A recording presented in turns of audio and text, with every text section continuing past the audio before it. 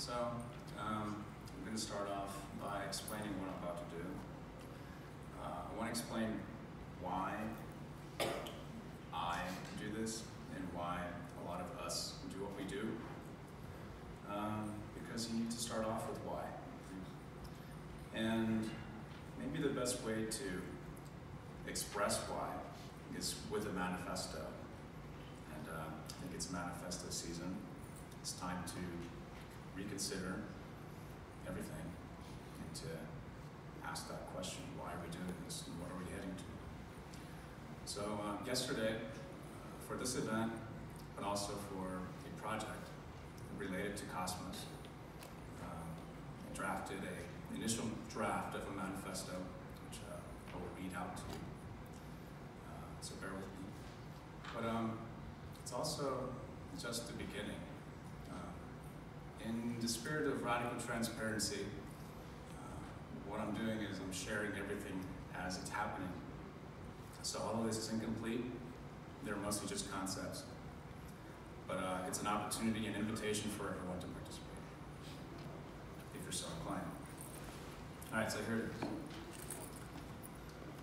So we are surrounded by fire.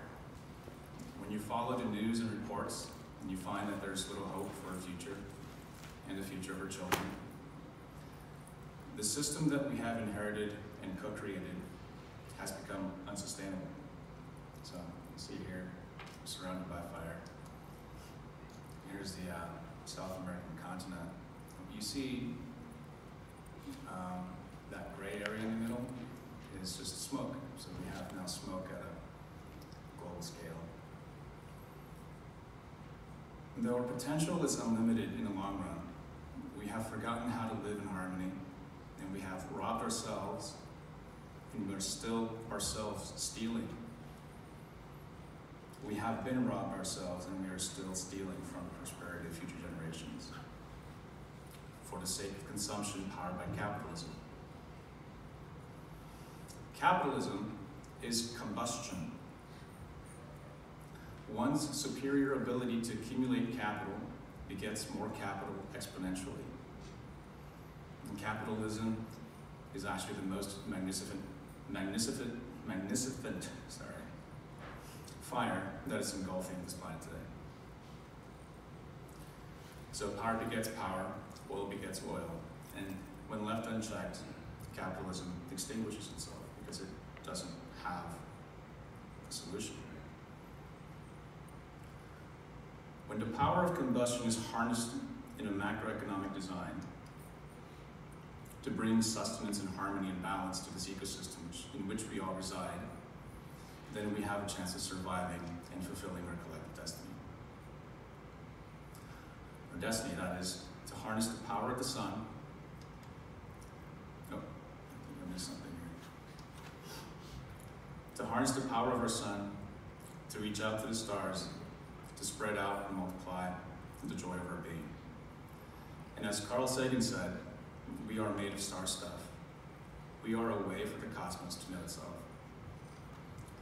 And this stardust just wants to feel, finally, at home, at peace and in love with ourselves, and at peace with the laws of the universe. While capitalism may appear to be an unstoppable force, the fact of the matter is capital and private property are constructs of our collective hallucination. And it's we the people who enforce property laws, and our minds are open enough to consider different ways of being.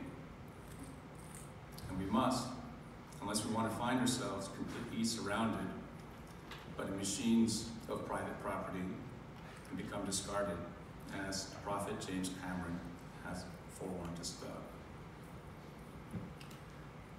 We must each use our voices, those that we've always had but never had the opportunity to use, and sing out loud with a thunder that pierces through the fabric of this constructed hallucination and change the tune of our reality for the progression of this song called humanity.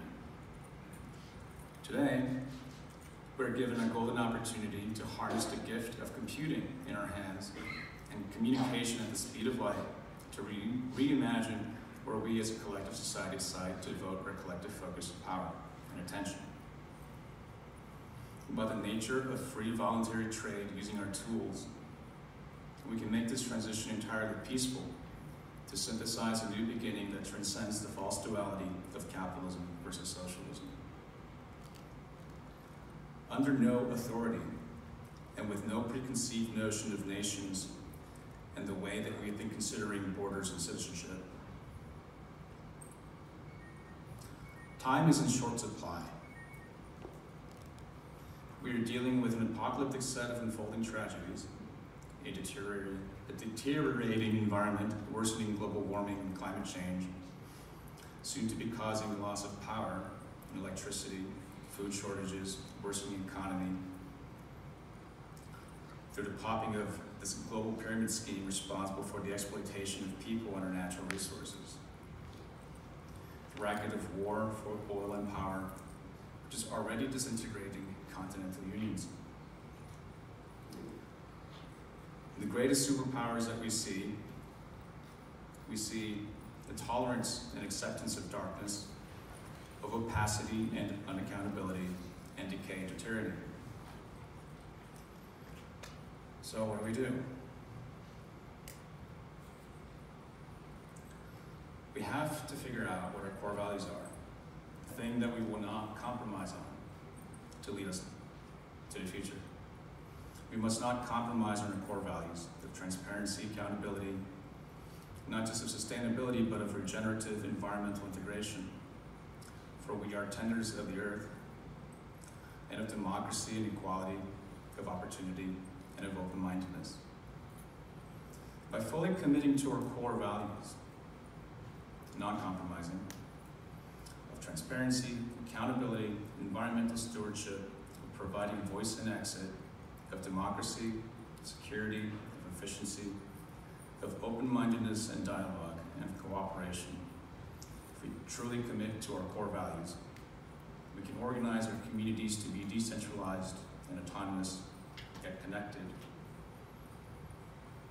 And from the votes and from the votes of the people, with our hands led by our reason, with our attention and associations, and with our words and allegiances, and with radical transparency, the right communities will emerge and prosper. But we have to commit to We have to commit to our core values from the beginning, from the beginning in order for that to work. So when moon, I think that's a stepping stone for me. I guess the question is when Virgo. Virgo is a constellation that took the scales of Libra to the heavens according to Greek mythology.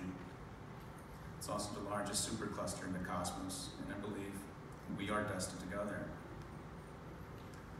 If starting is half the journey, we would be halfway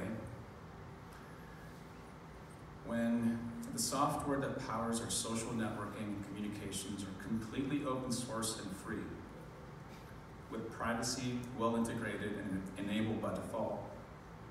When there exists no one monopoly or an oligopoly, but a vast federation of networks speaking a common protocol for interoperability. When the protocols are well designed enough for multiple implementations to compete, to provide constructive dialogue and information discovery, and also designed to enable our long-term happiness and well-being. When our mobile and desktop devices are completely open and a free design, such that anyone can manufacture them. And when we know with near certainty that our devices in our hands are secure and not compromised by any authority. When the world has become so saturated with open source that it becomes the norm, where genuine contributions are rewarded automatically. When our hardware devices are optimized not only for usability, but also for waste reduction and reusability via modularity, and to take into account the full cycle of manufacturing to, to disposal and the cost of things rather than design for profits from consumerism when our social services and public agencies are not held hostage by executive incompetence, but are comprised of a network of interoperating, decentralized, autonomous organizations. When we have trust in our institutions by virtue of their openness and transparency and accountability. When our representatives are not merely talking heads on censored media channels, but are people that we know through our exposure, accounting for different areas of expertise. When we synthesize these open and free software, hardware protocols, procedures, and data to make intelligent collective decisions for resource management. And when we enable radically transparent operation, which is necessary for accountability, but also facilitates constructive dialogue. When it all comes together to enable human coordination at all scales, from social groups to corporations and co-ops, to international communities united under a common mission, to states and municipal governments with a public engaged in democracy. When all the people on the earth feel that their voices are heard and that they matter. When our internet infrastructure becomes sufficiently open and resilient, when censorship becomes impossible due to the nature of an incentivized networking protocol, and hardware and fiber optic lines owned and operated by each local community.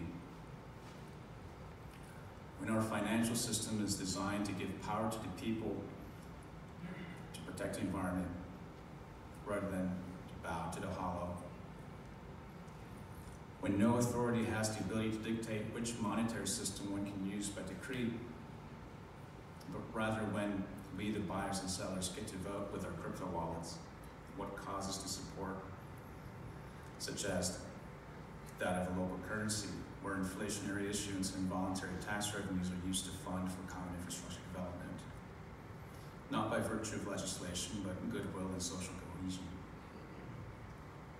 When our financial system is designed to heal the people on the planet on which to depend, rather than exploit it. And when we, the students of life, are given the opportunity to master any aspect of the technological infrastructure on which our livelihoods depend, when we no longer need to expend time and our time and livelihood accounting for our taxes, when all these new systems work together to heal the planet, and our sense of greater community bound by love, not hate and fear, then we will be halfway. Um, so Virgo is a new project. If Bitcoin represents capitalism, Libra, these are industry coins, there's a missing half that we need to consider in the context of where we are today. And, and we need more than cryptocurrencies for that. It's, it's about bringing power to the people, empowering us to coordinate together. What we need to do is figure out how to organize and cooperate better to build protocols to help us do this. More importantly, for us to find each other. And we do that by voicing out our own individual manifestos. So if you're interested and what I'm saying resonates with you, please join us for a new chapter and uh, feel at one with a sense of purpose. Thank you.